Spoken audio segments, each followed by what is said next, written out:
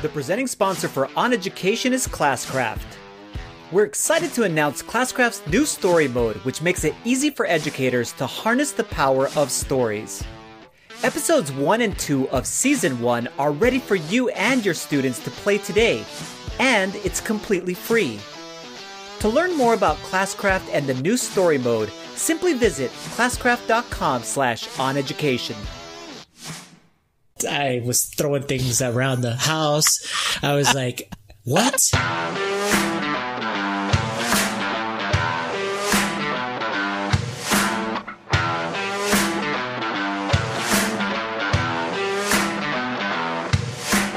Welcome to On Education, part of the On Podcast Media Network. I'm Mike Washburn. And I'm Glen Irwin. Friends, we have an awesome pot for you today. We will discuss the Ontario teachers' strike, debate whether you could be an effective teacher without ever taking work home, and our guest this week is educator and consultant Desiree Alexander. So I was just thinking about it just just as we were getting started, and, and we just got off talking with uh, our good friend Steve. Uh, Isaacs and and I and I had mentioned Civilization Six. I don't know if you've ever done this before, um, and and I'll, I'll see if any of our listeners have. But I saw a video on YouTube today that had like a bit of an exploit for Civilization 6. Hmm. And I totally went and tried to like replicate. I was like dying to see if it worked. So I spent the better part of like an hour and a half this afternoon just trying to get this thing to work in Civilization 6.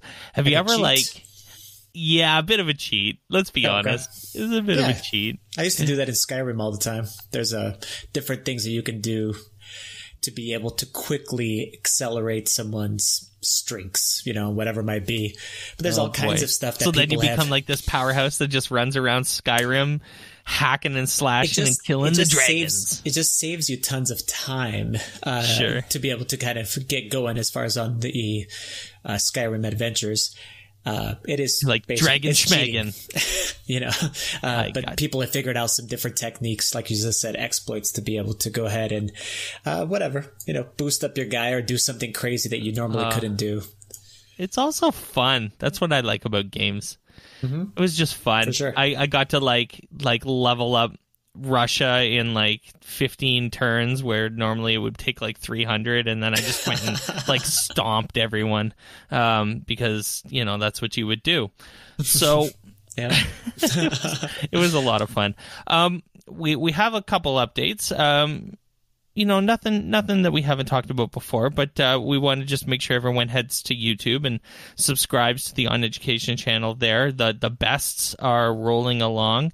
Um, we've enjoyed doing them, and and we think it's really cool content. I think it's helpful. So so pop onto On Education's YouTube channel and and smash that subscribe button, friends.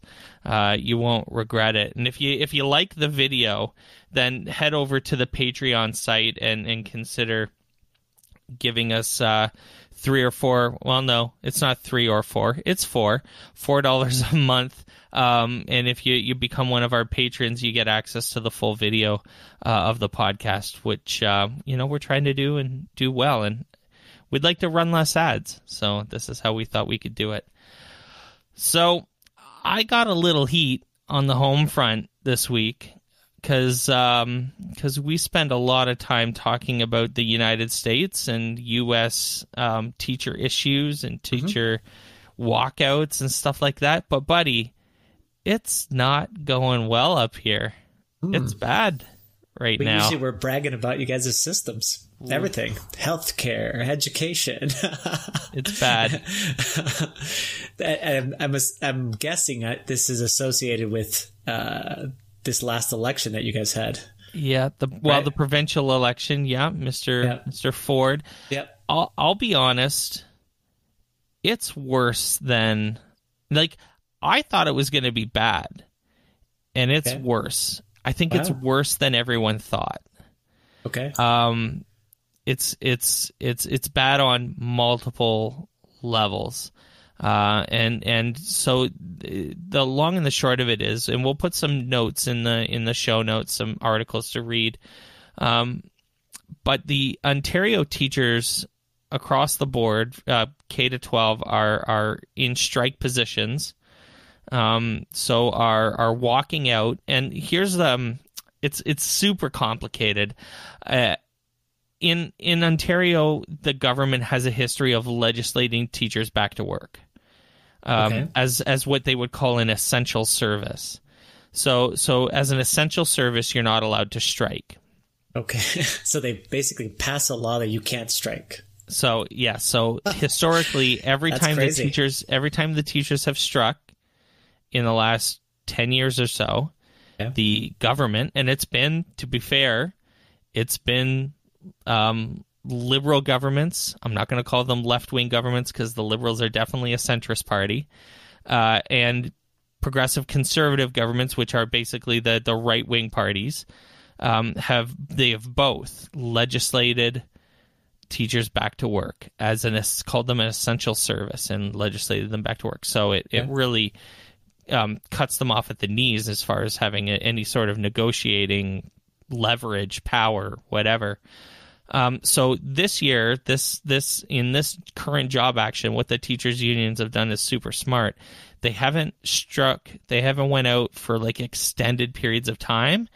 They've just went out one day or two days a week, and the other times they've they've they do what's called work to rule, where work to rule is where they just work their The their hours that are governed by the contract, the job description to it to the T.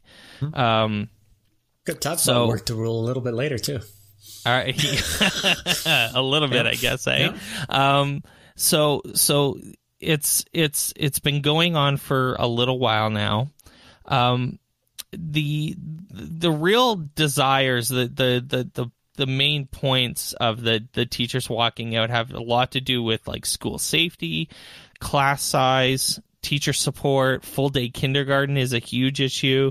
It's been very successful in in Ontario, uh, full day kindergarten.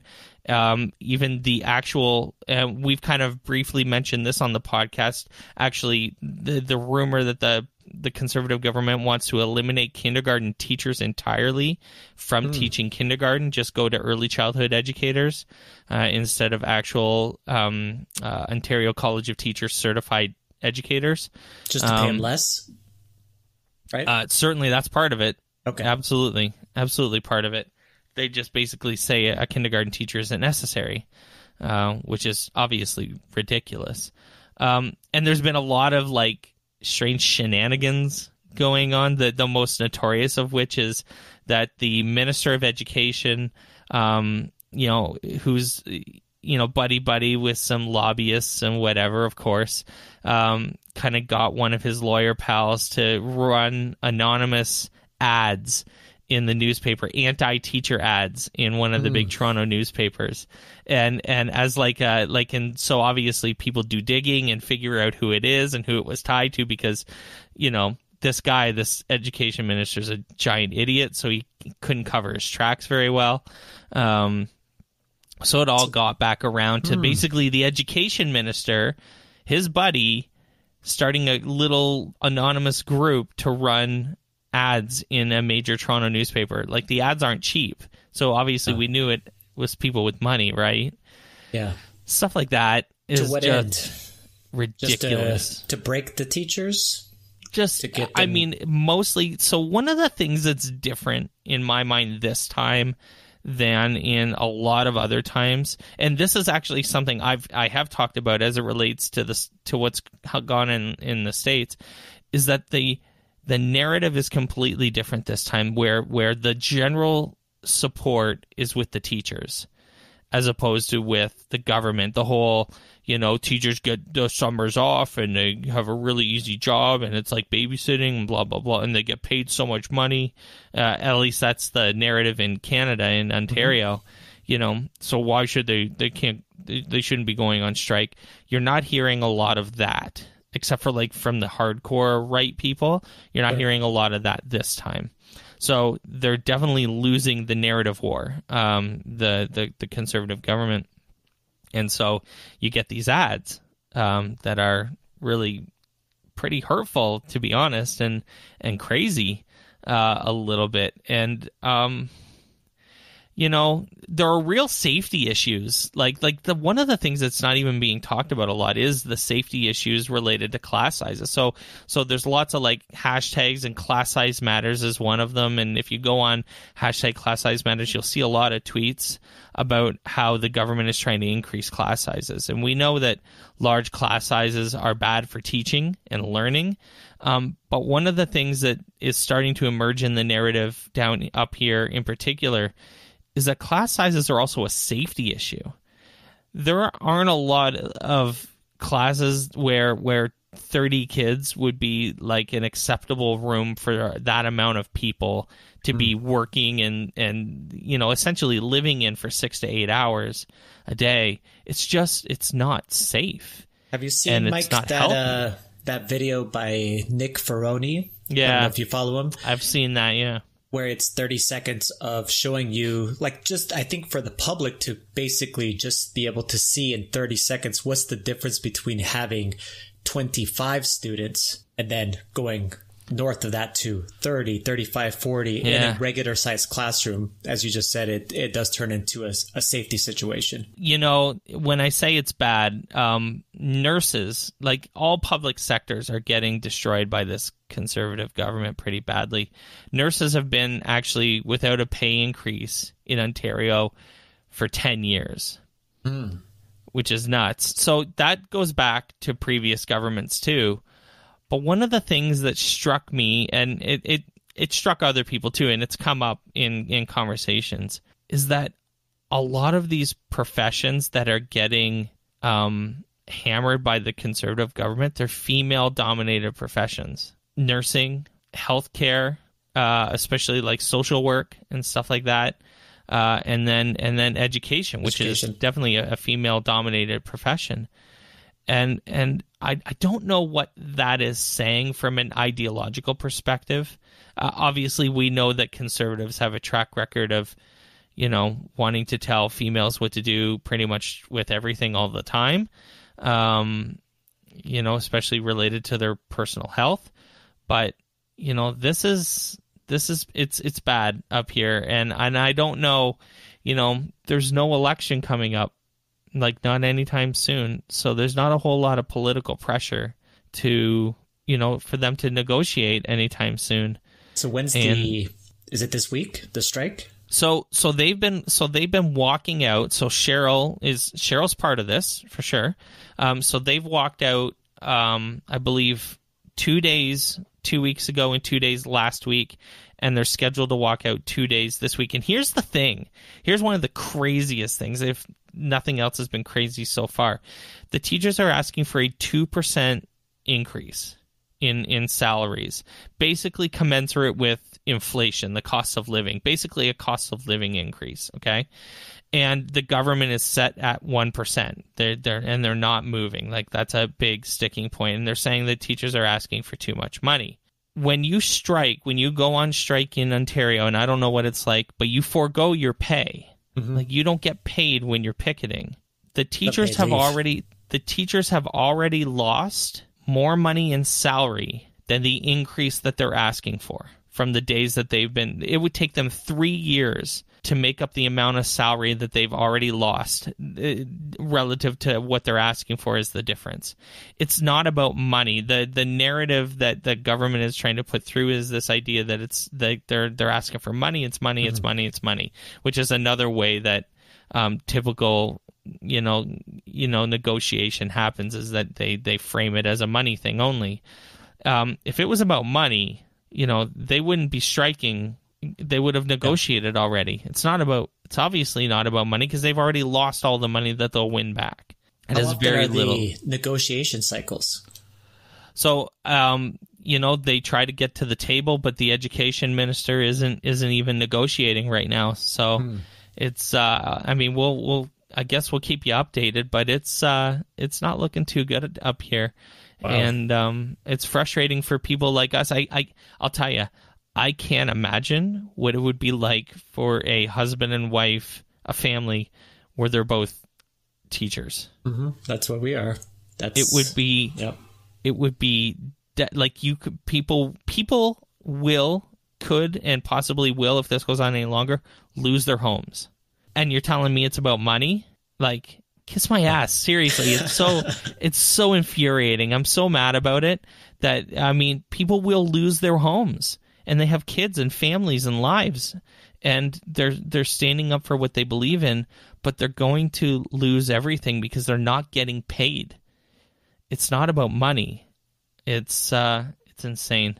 Hmm. So that's what's going on up here, man. It's rough. I, I feel like I'm preaching to the choir a little bit, but it's important that people know. I mean, most of our audience is American, but it's I think it's worthwhile for for people everywhere to understand what it's like uh, anywhere else too. So it's a lot of the same type of issues too. Oh. I mean, the same types of situations. So hopefully it gets resolved. I mean, they reach some sort of understanding where they address some of those big topics. Uh, yeah. So gross. Speaking of gross, yes, t- t- Twitter Twitter has Glen Irwin hot under the collar, um, and and I'm gonna just uh, I'm gonna just let let Glen talk about it a little bit here. I I just don't think I've been this angry in a really long time about something, and I should actually I should not do. I should take my own advice. Um, I put these top 10 edu Twitter tips of how to get started with uh, Twitter and education. And I think number 10 is don't take things too seriously. I think that's what it says. because there's going to be things that are going to just rile you up. And this Get is one of those things. Yeah. And it's, it's, it was, and I, I think we've had the topic of Alice Keeler on this podcast many times Okay. Some of them actually we've supported, obviously, sure. what the premise of a specific tweet was, and some of them not so much. Um, and in this case, it's the not so much. Um, and it really, it's infuriating because I have a specific take on this, and I know that other people are not going to totally agree with me, but that's okay because this that's our platform here. We're going to basically state our opinion and, and why this is uh, ticking me off so much. Um, so basically, I'll read you the tweet. It says, "This is Alice Keeler. My husband taught high school English. I think that's important too. High school English." And never, not once, brought any work home. No lesson planning, no grading. Home is home time. And reading through the thread of tweets, he taught for many, many years, uh, according to Alice. As far, up until very recently, yeah. And I'm talking about like as much as I've taught, uh, so in the 20 year range, you know, something like that. I mean, it seemed like it was a, a an extended period of time. Why did it get Glen so fired up? So many reasons. Okay, but let me start with number one you just finished talking about something super important, Mike, which is we have this, these teacher strikes and the perception is that teachers teach during this basically your work to rule hours, which are my contract at my school is 7:30 to 3:30 different schools have different uh, contract hours, and we work. I, I, don't know how many days I actually have. It's probably 185 or something in there. Uh, somewhere in there, average is, is probably about right. Uh, but anyway, I work 7:30 to 3:30 is my contracted hours, and then I have 185 days that I work, and I do have basically what amounts to about close to three months of vacation time. I mean, right. if you include the summer and the different breaks that I have throughout the year, and that I've had at different schools in different states and whatever might be, very similar. Um, I do have about three months of, of off time. Alice was on our podcast fighting for teacher, uh, basically saying, Hey, we're not getting paid enough in all of these different states. It's the same yeah. advocacy that we have had, the same advocacy that you are posing right now because you're stating teaching might be contracted 7:30 to 3:30 but that doesn't mean that that's the hours that you really work. And that is because of so many things that happened that are part of the teaching profession about being a professional. Remember that? We wore the shirts. Yep. teachers are professionals. Well in my opinion to be a professional teacher and anybody that I'm that uh, I'm mentoring, for example, or anybody that I teach right now at the university level, if I'm speaking to them and I say, hey, by the way, home is home time, make sure, I mean, make that distinction right now and don't bring any work home. Don't lesson plan at your house. Do everything at the school during those contracted hours and become super efficient to those things. If that's the case, Mike, there is a case for the for the other side of this argument for yeah. the right wing for let's whoever whoever these people are basically the people that don't want us to basically get salaries we already have it so good and whatever might be if we are only working 7:30 to 3:30 and I earn what I earn which is a significant amount of money for let's say a 10 month job and you uh, allocate those monies for a 12 month job holy god I make a crap load of money, but we all know that's not the truth that we work these extended hours during the weekdays and we work on weekends. And we obviously do stuff during the summer too. And mm-hmm. most of that stuff is unpaid. The premise that it's setting and Alice gets followed by hundreds of thousands of people and other people just look in. They're not even following her, but they just are, are looking in. So she has great influence as far as in the educational sphere, especially in edu Twitter. Let's just call it edu Twitter sphere. She speaks in many schools, in many districts. The premise that that sets, though, that that saying, "Hey, this is what you should be achieving," I think is just wrong. I, I think it's wrong and it's actually making the case against us as far as talking about how much we do work basically outside of the school day, outside of the school hours. So that was the first thing that was firing me up the second thing is she starts posting underneath this thing, underneath this thread, and continuously uh, last uh, couple of days, where she's taking pictures of her husband is like, who's the topic of this conversation, has the chapters of this book that he's going to write. Yes. About how do you go about doing this? Mm-hmm. It just reminds me of what you just talked about uh, earlier, Mike. It's an exploit to our job. How do we find the keys? Now, should we be as efficient as possible? Yes. Should we find ways to not grade everything? We talk about that too. Not grade mm-hmm. everything. Uh, absolutely. Mm-hmm. Should we hyper focus on grading is really not good either. Uh, the part that ticks me off though is this guy's a high school English teacher or was, and there's an important segment of being in a high school English teacher specifically, and my wife is one, where you have to give students appropriate, personalized feedback on their writing to become yeah. better writers. You're a writer, Mike, and in mm. order for you to develop that skill, it's like any other skill, you need timely, appropriate feedback that's personalized for you, not some canned freaking comment from something or something that, you know, it fits in. You need something. And and yeah. it gives you that inspiration as a writer to go, cool. I understand what I'm doing and kind of where I'm at as far as the uh, where I'm excelling and what I need to go ahead and work on. Plus, it makes that connection. Your teacher, your educator is working with you to bring you up. It's like coaching. It's like coaching a sport. I'm coaching you up until you become this proficient, in this case, a writer or whatever it actually might be. So I can see that in that lens of an English teacher where I'm like, there's no freaking way you can do your that that in that amount of time. She said no lesson planning. Oh, I just was I I, I was throwing things around the house. I was like, what? No lesson planning, no grading, no doing anything. And I I I just think it sets an unrealistic precedent. People that may say, "Hey, Alice Keeler said that this is what I should be achieving." May find themselves in a really bad situation as far as how they are looked upon and how their administrator actually sees them as far as the work that they're actually doing as far as at school. Can someone do this? Yes. I do know that they can. Will they be an effective teacher as I pose as far as in the question? In my opinion, not even freaking close. I mean, you can't do it. You can't, I, and that's the reason why teachers always talk about. I, ask any teacher out there, what's the biggest problem, you know, as far as an education right now for educators? What, what is the biggest problem? They say time. I just need more time to be able to yeah. do do, do, do all of these things, whatever it is that they're doing. Be more creative, come up with things, get better feedback, all of these types of things. And then they pull that time and have to extend it out into those hours, those after school hours, those weekend hours, and so on and so forth. Um, it just freaking pissed me off.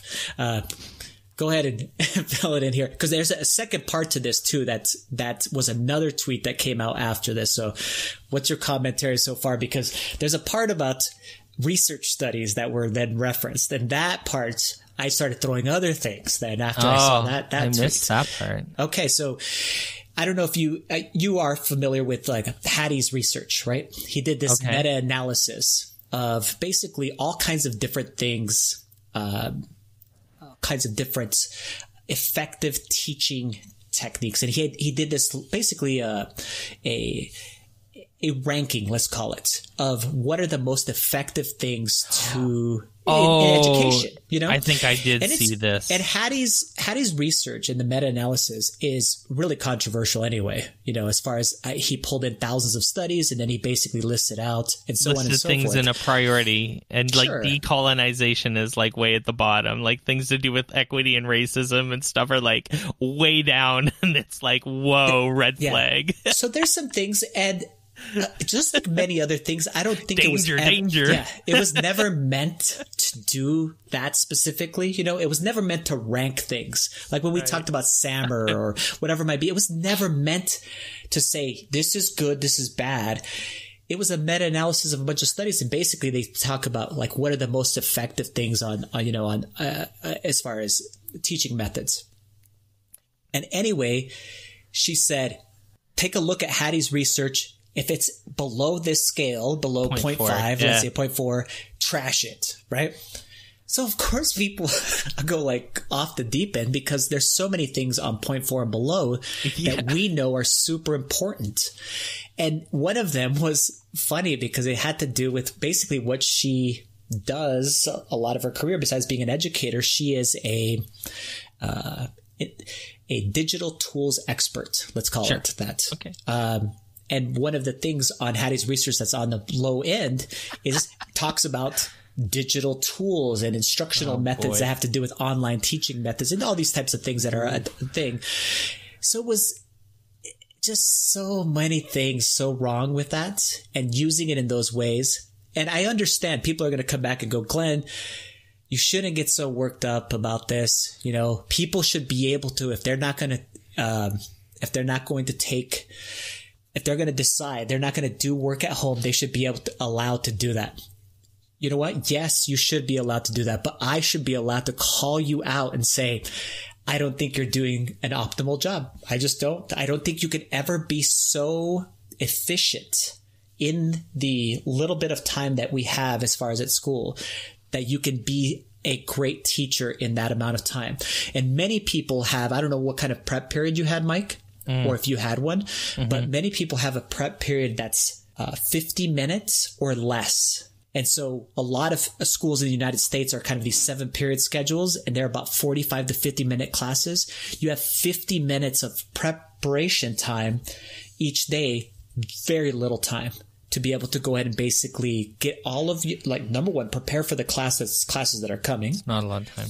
Lesson plan, hmm. give feedback to your students, grading then teach six classes you know during that, that day. Or in your case you taught like 15 classes because you have all these little kids coming in every 25 30 minutes you know? kids. yeah you have these things. And then you're going to do all of that amazing lesson planning and you're going to do it all in that amount of time that's allotted to you. Not going to happen. Not not at the level that i wanted to go ahead and happen at which is what we all should be aspiring towards, which is I'm throwing my mic around here. Sorry, um, which, what we should be aspiring towards, which is being the best educators that we can be, and our kids Yeah. can see that too. They can see our work is there, and they can see that kind of like, uh, for example, I'll give you a quick example. All of the work that I put in doing Minecraft stuff, I had so many kids just offhand years later just come and say things like, Hey, what you were doing there we know it took a lot of time, but you know what? We really appreciate because we remember some of those moments as far as what was happening as far as in class. And there's a lot of things I don't remember about high school and, and yeah. about things, but there's things that I remember specifically about your class. And I would not have been able to do any of those things if I didn't put in my time after school hours and on weekends and during the summer and making sure that I, I really work on my craft to be the best educator that I could be. So that's my giant raf, uh, rant. And I know that people, you, it, I know you're, I just read some comments, even including our guest for next week, which is Steve Isaacs. I read some comments of his and he doesn't have the same take as me. And I totally respect all of you guys as far as thing goes, but I had to go off here.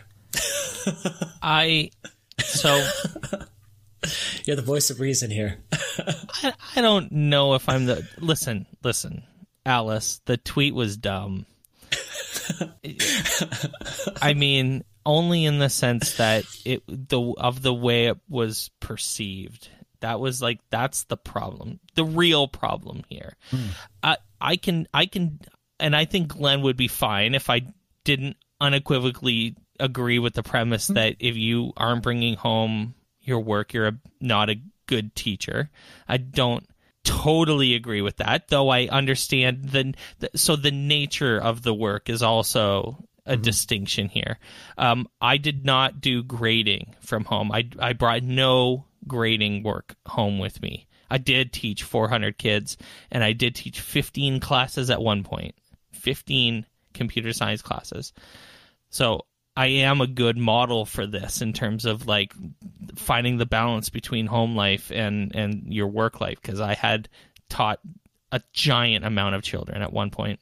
I did though do a lot of research. I did a lot of planning. I did mm-hmm. a ton of thinking, just like writing notes and creating bookmarks in my, you know, that I could bring back to school and like figure out what to do and especially early on when I didn't have a clue what to do and there were like think about what computer science teaching was like like 8 or 10 years ago when there wasn't a exactly. whole lot of resources. I was the dude like compiling resources because yeah. there wasn't a lot out there. I was the one making resources in some cases, like that QR code board that we were talking about with Tanya Avrith. That was like, I did that eight and a half years ago and people are still yeah. trying to figure out how to do that stuff. So that's the world that I lived in. But with that being said, I did not bring a lot of, I did, brought very little grading home. Um, now, also one of the things that uh, and this isn't an ad because they're not a sponsor but schoology changed my life mm-hmm. in terms of being able to assess kids work.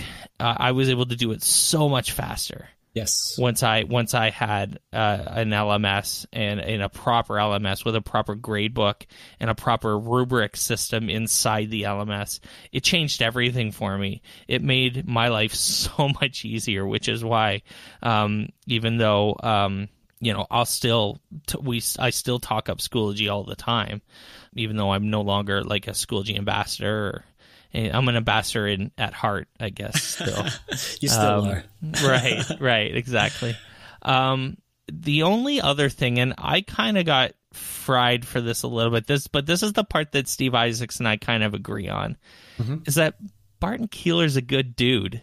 He's a nice guy, and and and I'll tell you, I mean, his wife travels the world hmm? a lot, and they have five kids. And I actually once, face to face, asked Alice how they do it, and she, with the biggest smile on her face, like like a loving smile, not like a gotcha smile, but like a nice, like it was a nice little moment for her. And I, she said, "I have an awesome husband." That's what she said and she meant it flat out. She said, "I, she don't said, doubt that." Yeah, she said, she said it. She said, "I have an awesome husband." Quote: "I have an awesome husband," and I believe it because, um, you know, he was teaching when she was doing a lot of like, like I, I don't think she travels and does as much as she used to but mm-hmm. when she was in those prime years where she was doing that 2016 2017 2018 2014 to 2017 let's say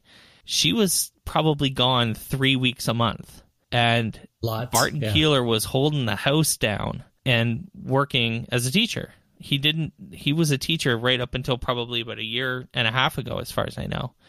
Um, so I just I I I felt bad for Barton a little bit.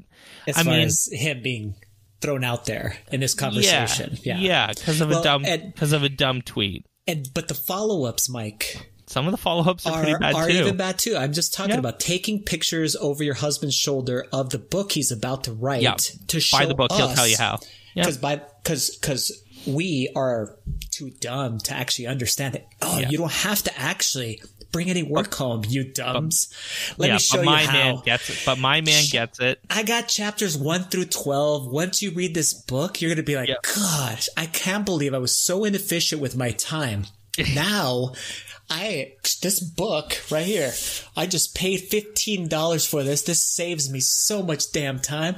I don't even need to worry about to actually working on the weekends or being have- able to do those types of things. I'm actually doing it all during the school day. Super unrealistic and crazy uh, bad expectations to set for this profession, which we work our butts off and it's part of what we end up doing. And the reason why we have to do it is this is kind of timely manner of things, timely personalized feedback. That's what I would call it as far as the thing goes. And he, her stating that he was an English teacher really was the biggest trigger for me and I, because I I lived this life with the, my wife doing this, and she uses Schoology. She's super efficient. She doesn't waste time. She works her butt two, off. Two kids. She works her butt off. She does all of the things that we all do, you know, as far as teaching life. But she's working on the weekends and she's working after school. And it's not because she hasn't read this guy's book. It's because this is the commitment that you have to have in order to be able to do the job effectively. We've actually calculated out too, Mike. We went, she has 120 students of high school students. I just told her, I was like, okay, let's say you could actually do that.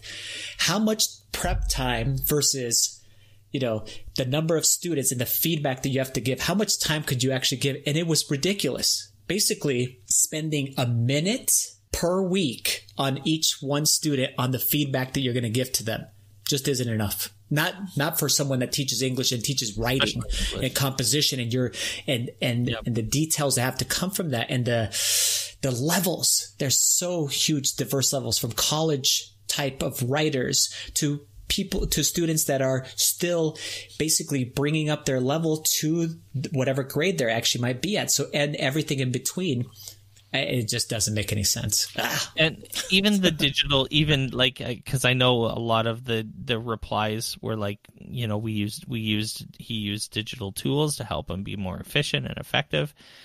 It's like you, you still have that one minute though. It's one minute to use a digital tool i mean first off let's let's just talk about the fact that using a digital tool versus face to face is less effective less meaningful.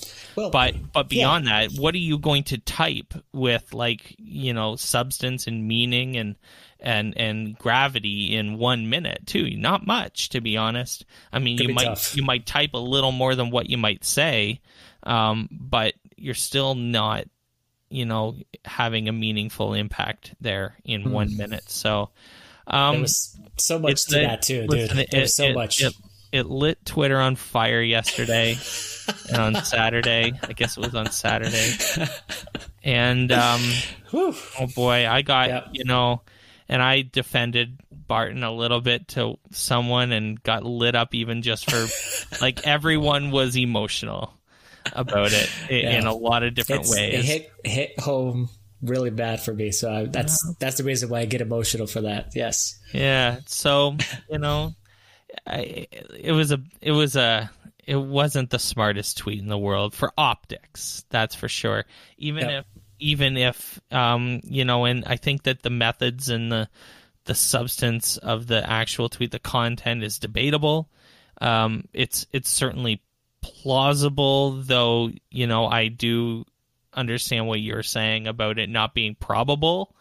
Um, I like using those words. I think those that's a pretty accurate way of saying it. It is Yep. certainly plausible, um, though not probable and probably not effective. Um, but it's certainly plausible. Um, but it was more the perception that you know that this person is better than us because, because he does it this way, and then buy the book. We'll tell you how. Um, is is a tough. It's a tough. It's a tough couple tweets there, Alice. Yes. So Yep. Yep. um, you know, but it's what was happening. It's Hey. listen. It's, it's a conversation starter, that's for sure. I don't mind the con- I don't mind the conversation. it is a good and- conversation. and I don't mind. I think it is. I think a lot of the responses and everything were were really interesting as well. So when we come back, we're going to talk about the best small conferences in education on the bests. So stay with us. On Education is brought to you by Phidgets. Phidgets are interactive USB sensors that bring your code to life. There's no soldering or wiring required. Simply plug in a Phidget sensor, write code in your favorite language, and watch your ideas come alive. Phidgets are used by thousands of STEM professionals globally and are now available for computer science students.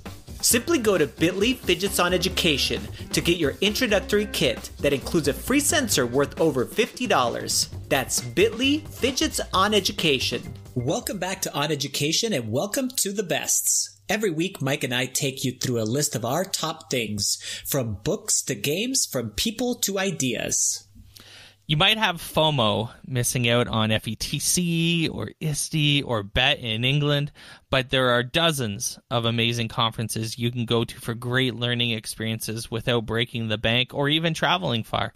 Here are some of the best small conferences in education. Let's get into it. Hmm. So, we've both been to this one, I think. Serious Play is our first conference. I'm going back to Serious Play Nice. um, in in Orlando. Last year they had one in Montreal. yes. They had both Yeah, Montreal and Orlando. that's Yes. That's amazing. So tell us about Serious Play. So Serious Play is is pretty much exactly the way it sounds, which is actually really cool. Um, you know what I liked about Serious Play was that it wasn't like your typical like. And don't get me wrong, the, take this just exactly the way I say it. it wasn't classroom teachers; it was academics talking hmm. about research and like journal articles and like like a lot of like because actually it's funny because we've been talking on the podcast a lot about evidence-based you know theories and the you know Yes. that if you say something you should back it up with research and like proven fact and serious play is what brings the receipts so like when you go to serious play you be prepared to go and listen to academics talk about efficacy studies uh eh, but because it's serious it's it's legit um academics and researchers talking about really academic and research based stuff. So, for example, in um, in Orlando this summer, Steve Isaacs and I, along with um, Julie Keene, who is the director of learning for Participate, are going to be talking about affinity spaces in gaming.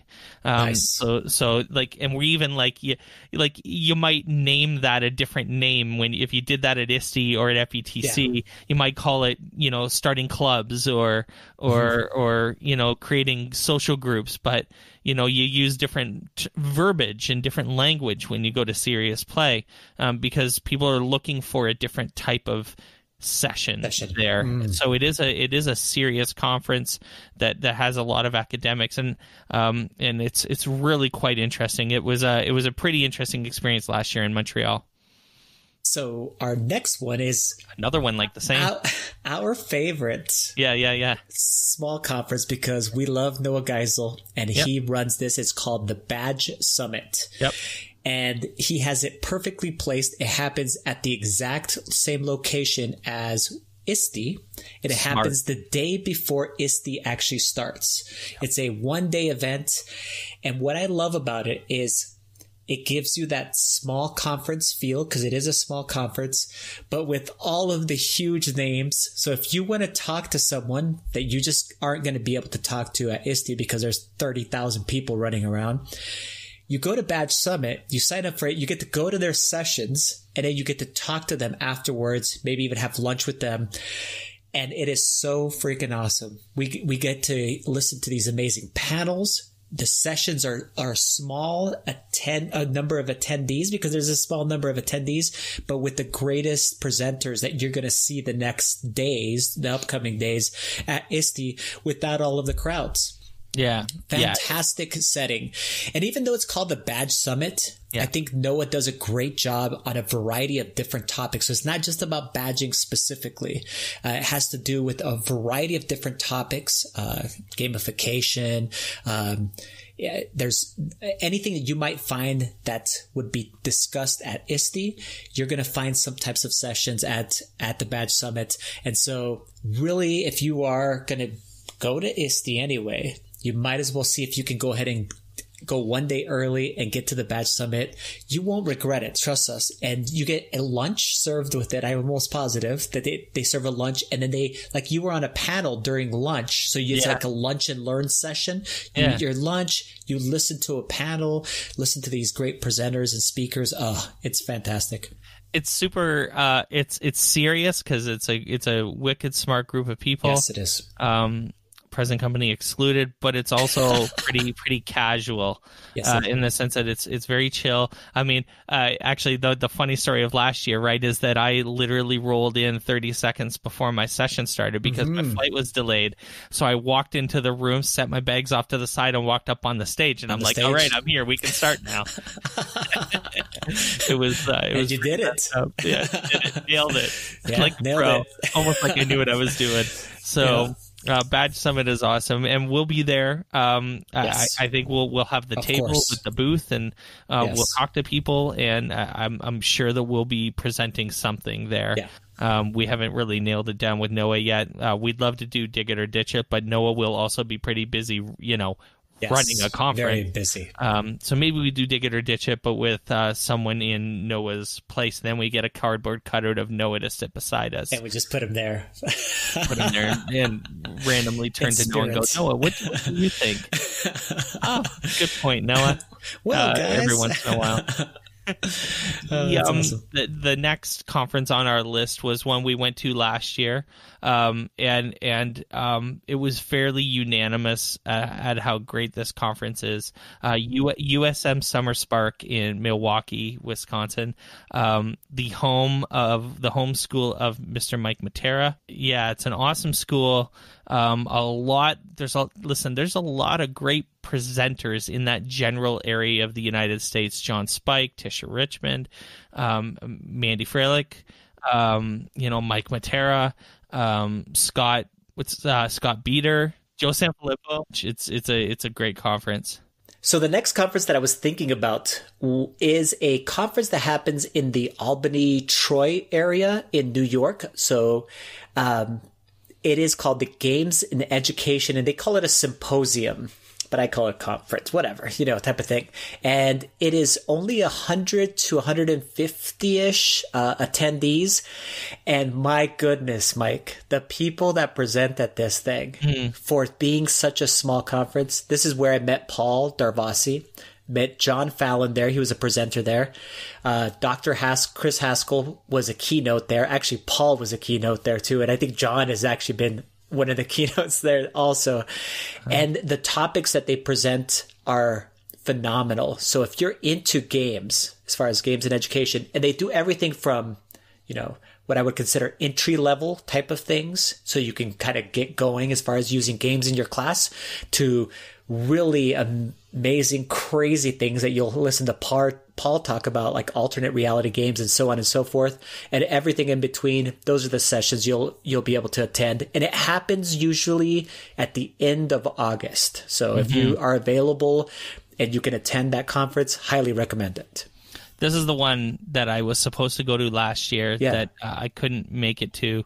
Um, but um, because Paul and I live so close to each other and so close to Albany, we can yes. drive. Yeah. So I, I think that I'm gonna I'm gonna hopefully Paul's listening and I can like, hey Paul, I'm gonna swing by and pick you up, and, and we're gonna go around go around the lake and and we're in Albany, and uh, nice. I would like to I would like to go this year. So especially because of how bummed out I didn't uh, that I didn't go last year.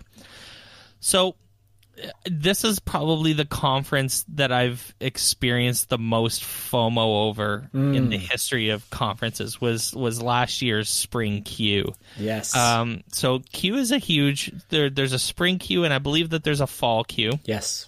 And these are the the the the statewide the California education conferences. Um and um I believe that there are local CUE conferences as well. Uh, at least in some of the local CUE organizations have have CUE conferences, but the the the two big ones uh, are are always always. I'm watching on Twitter and I'm looking on Facebook, and it's like, damn, you guys look like you're having just so much fun. Looks and I am amazing. just up here in, especially in spring CUE, because it's still pretty crappy weather in March in Toronto in in Barrie, and it's like it's snowy here, and you guys are just Palm Springs, California in the spring. loving Oh, life. 85 degrees. And so that that's a that's a conference that I'm dying to go to. Um, is is one of these CUE conferences. Uh, they do a lot of cool stuff with podcasting now. There, there are a lot of cool California podcasters Yes. uh, in education. Uh, I'm thinking of you know Scott Nunes and um, uh, the the the beer uh, the beer ed tech Edu, Edu podcast, that one? yeah, Yeah. yeah. The Beer EDU podcast. That's that's what I was, I was trying to get that out. Uh, those guys are in California as well, uh, and I believe one of them is part of one of the organizers. So um, I would I would love to get down to California uh, and, and go to one of the CUEs. Last year during Spring CUE, so last March, I was at Wonder Workshop's head office in San Francisco. Oh, yeah. Well, I remember Spring that. CUE was you, happening. you thought about driving down and or I something. thought about fly, flying, down Flying down. because I could get a ticket for like eighty dollars to fly from San Francisco to Palm Springs. it would probably cost you that much in the Uber just to get to. So you know I, I- mean? oh, I was like, I have the, I have the money, but I didn't have the time, Mm-hmm. and I, I wanted to pretty bad though. It was it was uh, it was awful. Um, Connect is is the wild card in here, but I wanted to give a shout out to Canada's largest ed tech conference. Uh, it's called Connect. It happens in the the last couple days of April. It's usually like the last couple days of April or the first in the first couple days of May. Um, it usually overlaps between April and May every year. I've been lucky to be the spotlight speaker. I was the spotlight speaker last year at Connect, and I'm a spotlight speaker again this year at Connect, which is pretty cool. Um, it's it's a small conference by U.S. conference standards, so probably about three to four thousand people. Still so, pretty good. So you know, uh, about the same size as as CUE is what I would uh, I would imagine. So bigger than most of these other ones, bigger than bigger than Badge Summit, bigger than Spark Games and Education, um, but probably about the size of CUE. And so if you live, so so even I know like some Americans that come up to Connect, like Michael Drezek, actually is a staple of Connect. He's done he's done um, ignites at Connect. Um, he's done tons of sessions at Connect, um, and he's there all the time. So um, Michael Drezek is at least one American, but I would I would love to see more. If you live in Buffalo or Rochester, Where does um, it happen? up- International Falls? Yeah, Ni- Niagara Falls. Niagara Falls, sorry. Yeah, yeah. I- So- International Falls is Minnesota, sorry. I was trying to make it closer to me. yeah, if you live in if you live in upstate New York, Connect Mm. is uh, Connect is a great conference to go to for Americans. Um, even from like if you're in Albany or or, or New York City, Mm. um, you know it's it's not that bad of a drive and and worth worth coming up to to to come to Connect. It's a, it is a really good conference. So, you can always come back to this segment of the best by checking out our blog at oneducationpodcast.com or watching it on YouTube. Just search for On Education and check out the playlist. Want to support On Education? Check out our Patreon site at patreon.com slash oneducationpod. When we come back, one of our conversations from FETC will be speaking with Desiree Alexander. Stay with us. On Education is brought to you by the Badge Summit. Do you have plans to attend the ISTE conference this summer? Come one day early and participate in the best hidden gem conference in the United States. Badge Summit 2020 will take place in Costa Mesa, California on June 22nd. There will be many amazing educators to collaborate with on topics such as digital badges, credentials, gamification, and more. To learn more about the Badge Summit, simply visit bit.ly slash badge summit.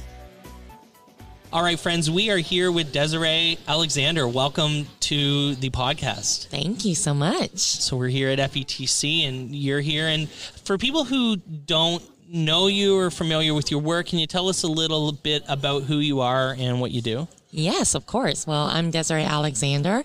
I am the founder CEO of Educator Alexander Consulting, and that brings me around the world teaching teachers, mentoring teachers, really on any content that they may need or want. I go to districts and help them out with certain things that they need, and that's pretty much my life is teaching Nice. teachers and um, mentoring teachers. That's awesome. So is it based in instructional coaching, like pedagogy techniques, or Sometimes, sometimes it okay? depends. Yeah. I um I also work with I'm a regional director for a nonprofit in Louisiana, Hmm. which is where I'm based, and um, it's an educational nonprofit. So I also do trainings for them, and it really just depends on what they're looking for. So Gotcha. there there are a lot of technology. I do a lot of educational leadership type sessions, growth mindset, um, classroom management. So it's really it's all educational, but it's really depending on what they need at that time. Gotcha. Also, people that are looking to get into consulting and branding themselves, I do that kind of thing as well. As you just, I just had a principal just walk up actually to our booth here, which was an interesting thing. I thought she was going to talk to us about the podcast or whatever it might be, and she just asked a- an important question with someone that actually is working with instructing teachers, and this hyper focus uh, on social emotional learning. And she said that she feels as a uh, a principal that that is a content area which she wants to learn more about and basically uh, make sure that she has all of the knowledge and skills necessary to be able to address any of these types of things with our students. Okay. Is that kind of what you're hearing too as you travel throughout the country doing I your think job? you know in education we always have these buzzwords Mm-hmm. and these things that come up, but I think this is a this is one that is gaining steam mm-hmm. for a good reason. Sure, yeah. Because we're not teaching the whole child and we're not, you know, we're so, we got so test focused. Yes. And mm. we got away from actually making sure the child was okay, mm. you know, that we were teaching. So I, I do think it's something that is w- worth um, exploring and I do things with healthy student relationships. A Yes. lot of my educators, um, not a lot, but some of my educators are looking for those types of trainings. Like, how do I form a healthy relationship with students? How do I make sure that my students are getting what they need? How do I make sure that my lessons are culturally relevant? Those type of things. So I, I do think it's definitely something that needs more of a focus, even at conferences like this. I've never heard. I love the reframing lately that I've been hearing about like the the child who acts out in class in particular, and the reframing of that narrative of of like like that's a signal that those kids need help. Yes. And we've never, I've never, and I'll admit, and that's a shame, I had never thought of it that way. But the last couple of years, the conversation has really changed around those kinds of things. And teaching the whole child um, is, it's, it's huge and it's so important. And like you just said, there are things that are buzzwords because they're buzzword, buzzwords and they're mm-hmm. catchy and they're whatever, new technology and whatever.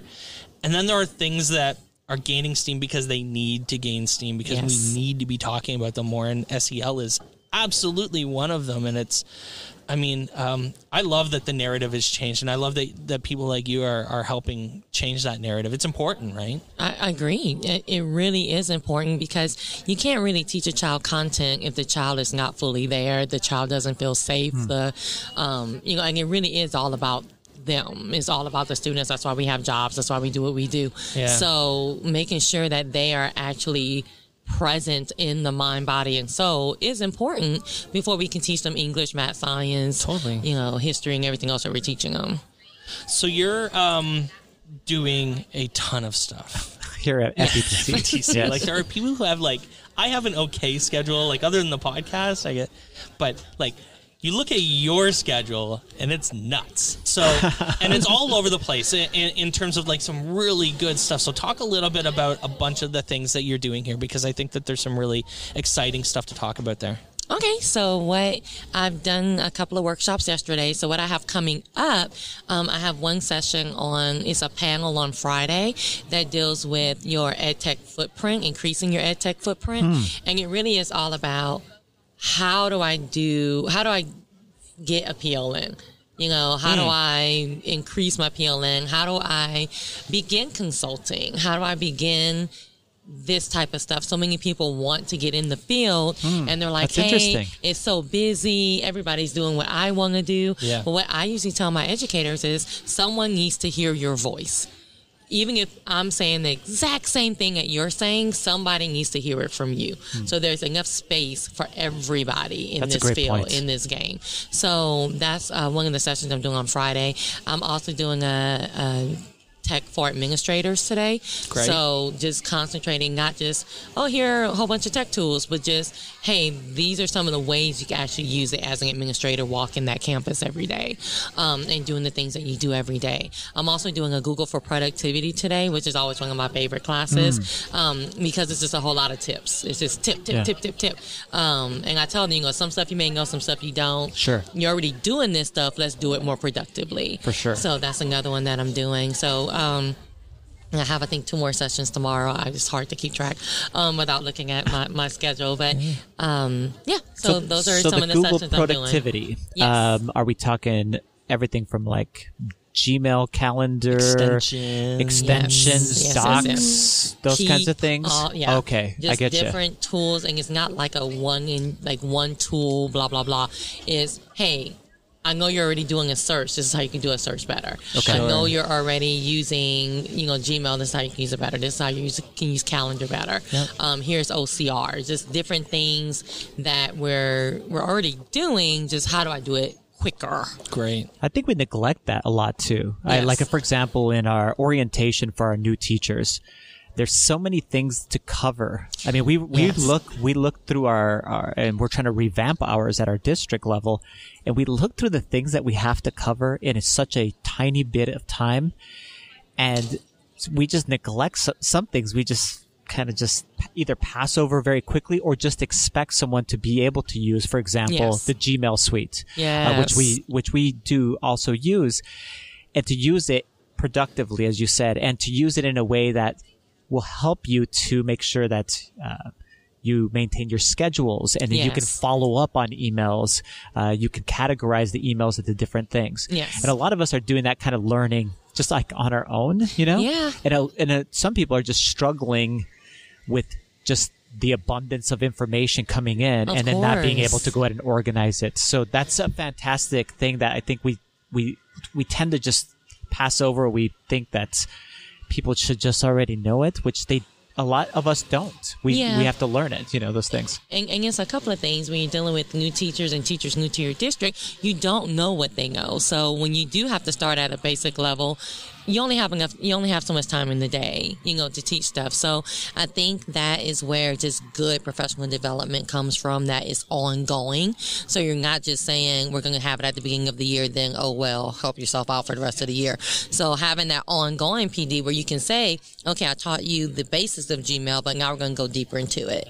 So I think that's the that's the key to fighting that. We had um, Ken Shelton on Yes. just uh, a week and a half, two weeks ago, Okay. and uh, spent a lot of time talking to him about digital equity. And you're you're on a panel with him Yes. tomorrow about this and this is something that is um, we talk about on the podcast stuff like this all the time Mm-hmm. um, uh, and we've we've even had like um, think tank um, Okay. people on to talk about like uh, uh, funding issues with school funding and this is another one of those things that is being talked about a lot now that wasn't talked about at all five years ago and is another one of those conversations that absolutely needs to keep happening Yes. um, can you talk a little bit about um, about what you're going to talk about a little in that panel?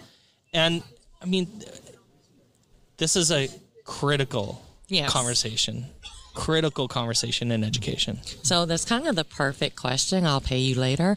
Um, because we're going to talk about exactly what you just said.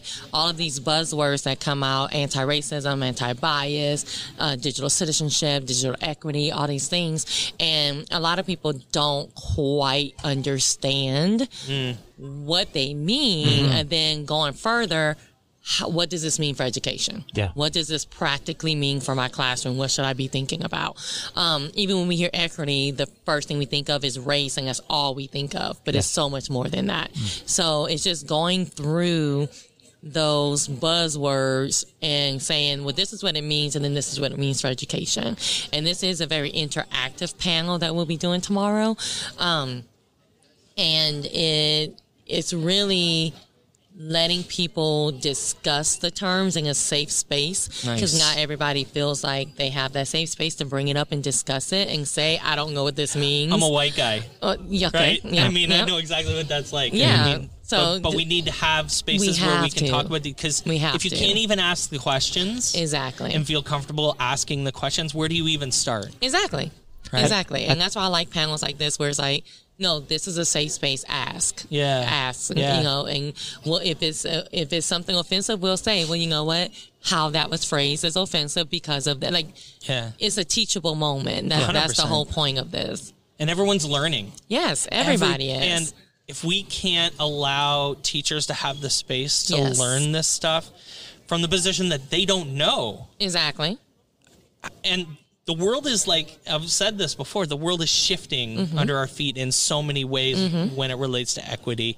And it's not just like race, we're talking about LGBTQ stuff Everything. and Mm-hmm. like even the words and the vocabulary is changing and we've been talking this way for 30, 40, 50, 100 Mm-hmm. years in some ways.